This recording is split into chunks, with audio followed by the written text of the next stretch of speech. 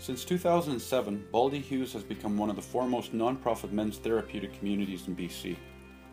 We facilitate rehabilitation through the 12 steps within a safe and predictable community while capturing cultural diversity. We believe all our actions should be directed toward improving the emotional, psychological, and physical health of the individual and of the community. Baldy Hughes is remotely located outside of the northern capital of Prince George.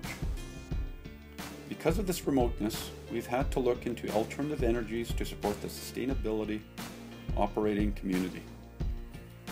Shortly after the therapeutic community was established, it became clear that the existing propane system used to heat the buildings on the property was extremely costly.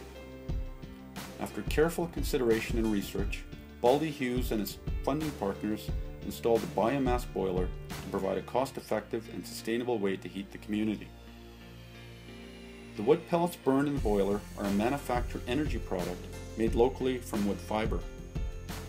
These wood pellets have a relatively high energy density.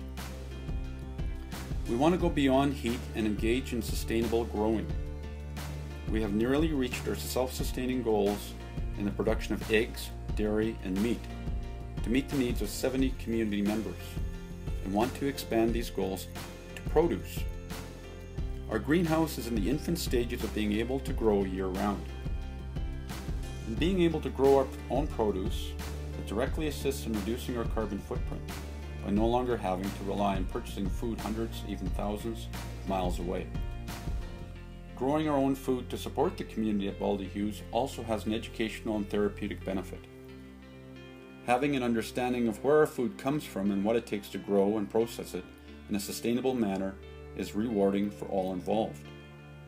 Sustainably engaging in a complete earth to table process benefits not only our community by providing another therapeutic modality, but sets an example to other northern communities about what is possible.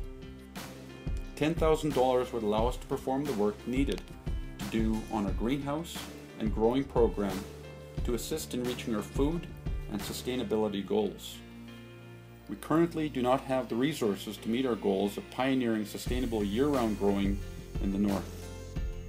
Baldy Hughes believes that healthy growth supports healthy people and $10,000 from BC Hydro's Community Champion program will further help us achieve just that.